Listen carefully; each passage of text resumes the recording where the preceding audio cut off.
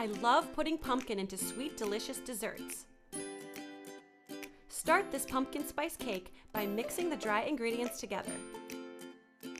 Then the wet ingredients.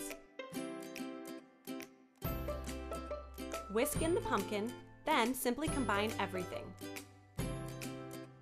I'm baking these in Reynolds nonstick bakeware cake pans with parchment lining. These are a baker's dream come true. Pour in the batter, smooth it out, and then bake them at 350 degrees for 30 minutes. While the cakes are cooking, we're going to whip up a super easy to make cream cheese frosting. Mix together some powdered sugar, whipped cream cheese, and heavy cream.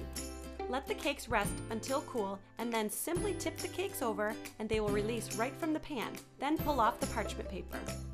How easy! And wow, are these cakes moist! Now the fun part, frosting the cake.